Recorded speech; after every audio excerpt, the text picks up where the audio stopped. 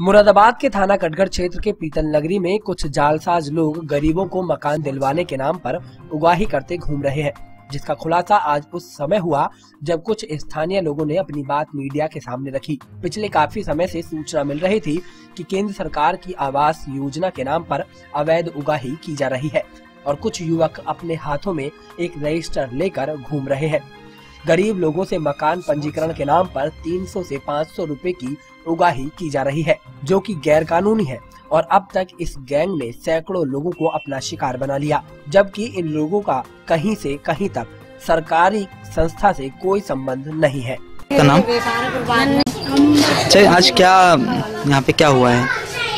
क्या परेशानी आई है आप? फार्म भरे जा रहे हैं खाली फ्लैट हो अच्छा इसमें क्या क्या कहा जा रहा है आपसे? बोल तीन सौ रुपये दो इसमें ये क्या सरकार की तरफ़ से आए हैं या किसी प्राइवेट बोल रहे तरफ़ से आए सरकार की तरफ़ से आए हैं?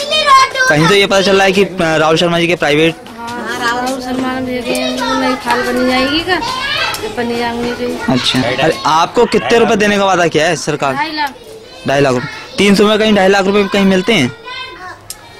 क्या है भैया आपका नाम? मेरा नाम ब्रज किशोर। जी आप किस वार्ड में रहते हैं? मैं पार्ट चौदह में वही छत्तीस में रहता हूँ। जी आज क्या मामला सामने आया है? मामला अंदर गली में लोगों से तीन तीन सौ रुपये लिए जा रहे थे और प्रधानमंत्री आवास योजना के बारे में कह रहे थे। प्रधानमंत्री आवास योजना का वो है।